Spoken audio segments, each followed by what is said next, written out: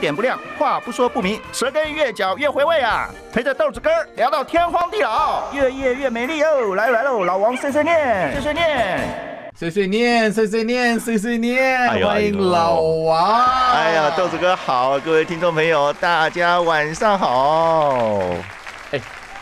我先跟你求证一件事情，怎么啦？你 你刚去喝喜酒喝完了，是啊，哎呦，红不隆咚的，对不对？你你为什么啊？我人家我们年都过完了，不是吗？嘛，人家有一首歌啊，对不对？呃过了一个大年，头一回，不是头一天哦，是头一回上节目哦哦，。但现在过年已经过完了，也过很久了，对不对？对啊但是我看到你以后，我还是觉得还是有过年的氛围呢。有啊有啊，他今天除了衣服穿红彤彤的之外，他今天内裤也是红色的呢，最好你看得到，猜一猜不犯法吧？可以啦。可以啦。哎呀，哎所以这个年你过得怎么样哈？就 有一点感觉，怎么一年不如一年？啊，哎，很无聊啊。台北人过年真的好无聊哦，对不对？对啊，冷清清的。哎，冷清清这是一件事情啦。第二件事情就是，譬如说像我还好哦，我是平常因为都还要到电台来上班，就是过年那段期间。对我有听节目啊。对，所以我是有事情做的人，是你知道，就是像很多像我朋友，就是那种一般的上班族，嗯在台北过年啊，真的在家里面除了追剧跟打电动之外，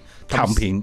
对，就是躺平。嗯，然后呢，这这种生活大概过个大概三四天，觉得很爽。这样到嗯第五天的时候，很多人就开始耐不住性子，特别是今年的年假有九天。好久哦，对不对？对啊。然后大家到后来都不知道该干嘛，然后那个什么事儿都没干成，这样子，那肉倒是养了不少啊。对啊，然后节就过完了，就上班了，就后来发现上班让日子比较正常。那今天的这个节目当中呢，等一下老王会跟大家来聊聊，在最近，因为前一阵才有才有一件大事情，好大的事啊！对，然后等一下呢，老王会跟大家来聊一聊他在最近这一段日子小小的一些观察，嗯跟小小的见解，好不好？好诶好的，我们先休息一下。I like 在最近这段时间呢，因为国际上有大事情哈，所以说呢，大家可能都会把这个焦点放在国际新闻当中。那我我先讲个稍微无聊一点点的话题哦，怎么说？最近不是那个俄罗斯嘛，对不对？你小时候是念俄罗斯，对不没有对？苏联 我说字的发音，我说字的发音。哦，不然应该怎么念吗？苏俄嘛，对不对？苏俄俄罗斯斯嘛，嗯对不对？嗯对。结果后来在近期的台湾的新闻台当中，我都看到听到很多主播都念俄罗斯。俄罗斯那俄罗斯这种说法，这种这种讲法呢，以前比较像是，譬如说对岸的新闻主播，哦或是台湾以外的这个呃用语，就是嗯俄罗斯，俄罗斯或是法国嘛，对不对？嗯我们都念法国法法国对不对？那、嗯结果，现在那个因为前一阵子实在是觉得说听俄罗斯听到很就觉得就怎么听怎么不顺，对对对，我就在我的那个 IG 上面发了一篇线动，嗯。我说很奇怪哦，台湾的主播都念俄罗斯，嗯。我反而有一天在看那个就是凤凰卫视，那你知道凤凰卫视的立场会怎么样嘛？对不对？他们的新闻主播反而念了俄罗斯，哎，我想说，这这这太奇怪。我反而在我反而在境外的的主播上面听到俄罗斯这样，然后我就觉得实在太奇怪，我就发了一篇现实动态。结果后来就有很多网友跟我说：“豆子哥，你要知道啊，现在我国的教育部啊，已经正式定音，你知道，就是那个不能发音，对对对，俄罗斯要念成俄罗斯，俄罗斯。教育部说的哦，俄罗斯。对不对？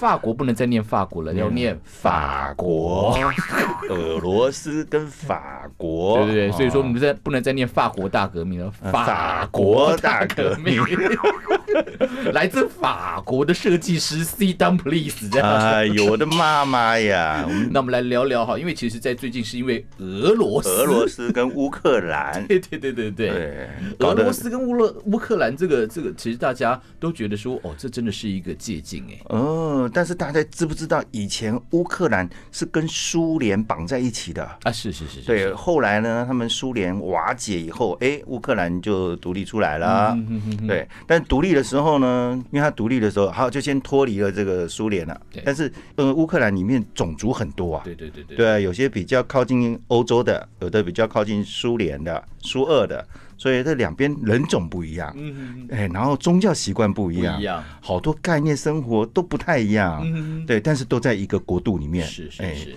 所以后来乌克兰就民主了嘛。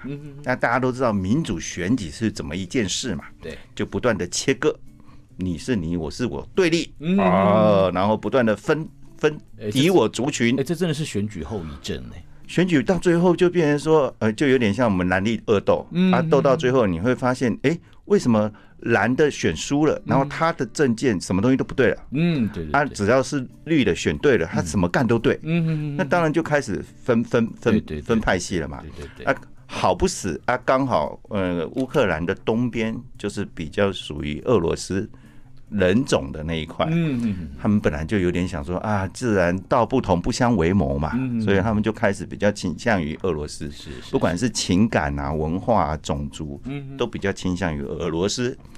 然后后来呢，这一次哎，事情搞大了。嗯，那这个搞大的原因是因为我们还是一样民主选举嘛，嗯。因为他们的总统就比较倾向于北欧，呃，比较呃北约组织，所以他想加入北北约组织。嗯那加入北约组织的话，它就会变成以前北约组织对对口还有一个叫做华沙公约组织。对对对，那北约跟华沙本来就是死对头，就有点像美国跟中国现在跟死对头一样。所以，当你原来是属于我们邦联里面，说苏联里面的一个一个伙伴关系的，突然间你跟我说要去北约了，我当然有一点觉得啊，不光是不爽，而且你变成我的对立面，啊就开始你要开始变成是好像会要攻击我的对手。嗯，所以一开始他想的防御是防御，但是当我思维到攻击是最好的防御的时候，他就开始用找了一个理由，嗯，对？你说要打架、要吵架、要找理由太简单了。对对对，对所以我们俄罗斯就找了一个理由，这个理由就是说，他要保护乌东那两个比较独立的个体。是是，对，是。所以他就出兵要保护他们。啊，所以就搞出了这一件事啦。他。的意思就是说呢，我之所以出兵战争，是因为我要保护，我要保护我保护俄罗斯人，这样啦。对，所以说现在这个很多人对于俄罗斯啊，就是嗯那一方面的看法不太一样哈。对，但是战争这件事情本来就不是件好事。当然，当然，当然，但是呢，从这一次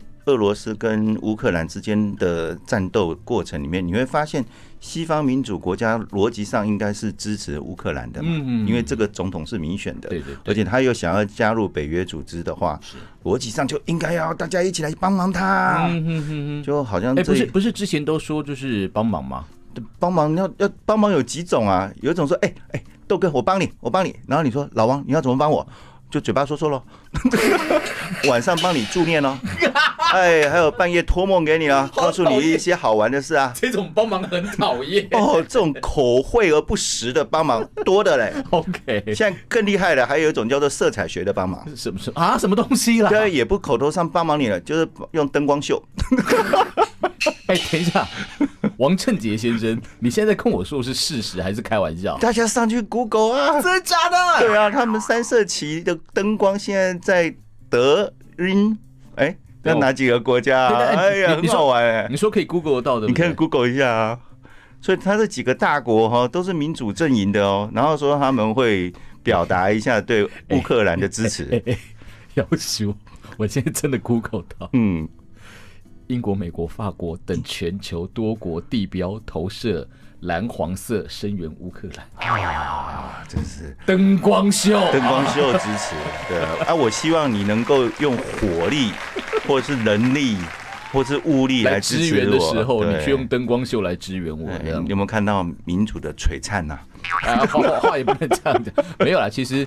呃，真的回归一句话，国际社会真的都是现实的。很现实，就是有的时候你去想哦，当我们成平时期，就是平平安喜乐的时候，法律是大家可以遵循的。对，但当战争来的时候嗯，就不是法律的问题，对就是武力的问题。那你这个武力，大家都知道，以前我们常看一些俄罗斯的短片，有没嗯有？哦，就觉得他们那个国家的人都很妙，哦，对对哦战斗民族有没有？对对一天跟他说战斗民族嗯，哎，现在真的发现他真的是战斗民族哎。就说打就打，对对啊？嗯，而且大家可以稍微再呃再回想一下，以前是不是有一个叫做古巴危机啊？啊，对对对对对对，古巴危机好像就是苏联当时要在古巴那一边放核子弹。嗯哼哼，那为什么他跑去古巴那边放核子弹呢？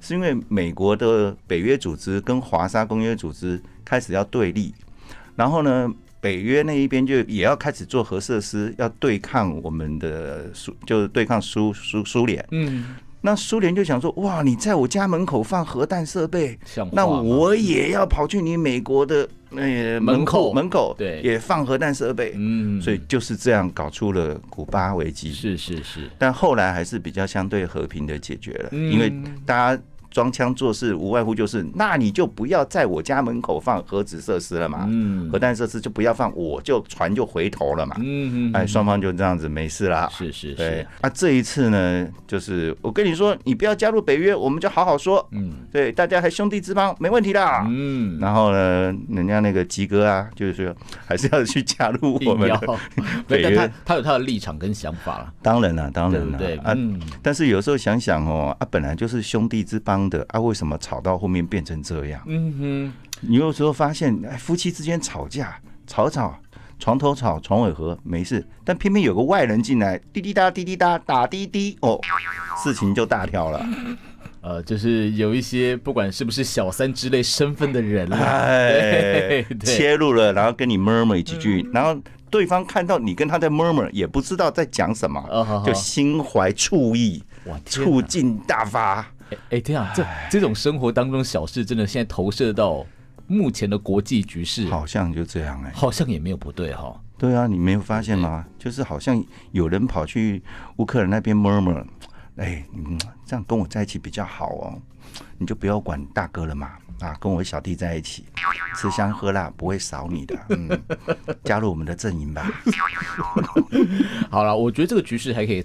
还可以再观察下去。那刚才这个老王跟我们讲的这个呢，只是可能我们看到的一些观察。那如果听众朋友你有一些不太一样的意见，譬如说可能你比较亲哪一方啊，你觉得怎么样的观察角度？因为现在我们所大部分的新闻来源都是从西方的新闻观点是的去看这件事情。那其实还有很很多不一样的角度。我觉得可以看一个现象，就是假设今天两个国家打仗，嗯哼呃，比方说 A 打 B 好了，就 B 在防御的时候，他们国家的国民是同仇敌忾嗯，的话，那就表示，哎，这一场战争是非常有意义的。是是是，但假如 A 打 B，然后 B 在防守的时候发现，哎，人家来打来了，立刻放下武器回家睡觉。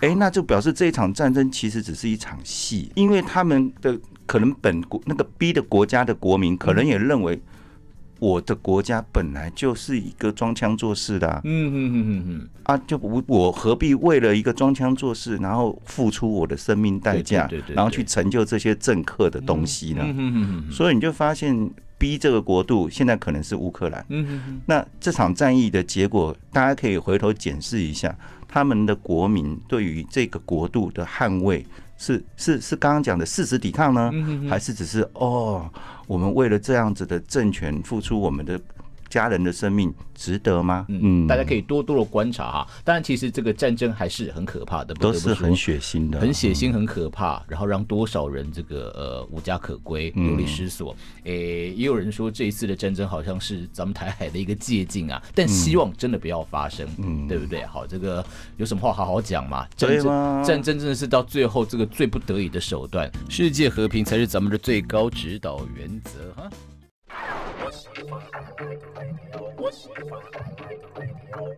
每个月的老王碎碎念单元的最后呢，都有一个王振杰先生的心得小语，对不对？哎呀，还小雨嘞，小雨来的正是时候呢。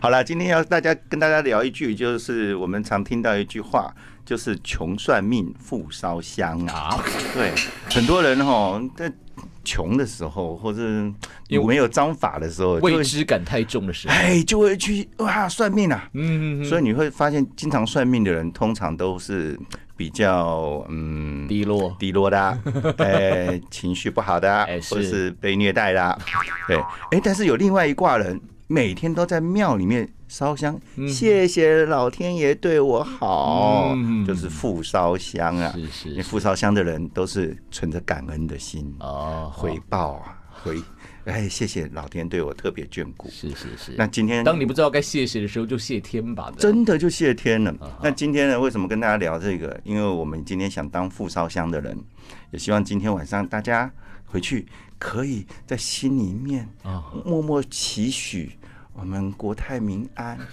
两岸不要有战争，然后我们俄罗斯跟我们乌克兰的事情也能够快快的平安落幕，我觉得很难。很难哦。不，两两岸当然希望不要有战争了，但是那个俄罗斯跟乌克兰，我觉得这件事情还会延烧好一阵子。那莫非后面都还有大哥在指导吗？你觉得呢？嗯，这留给这一题留给他自己想，好不好？但这一题真的很好玩。哎、有的时候夫妻吵架都觉得不要再吵了，结果呢，双方家长出来吵了。啊，对对对，我们就看看到后面背后那个大哥大姐会不会出来下指导棋。嗯好嘞这个变化还会有更多不太一样的改变或走向呢？我们值得观察。今天非常谢谢国际观察专家，没有啦，开玩笑。哪有？我们就生活体验组。对对对对对，我们从国际的事件来体验我们的生活，这样。嗯嗯 o k 今天非常谢谢王正杰先生，谢谢老王，好，谢谢豆子哥，也谢谢听众朋友。I like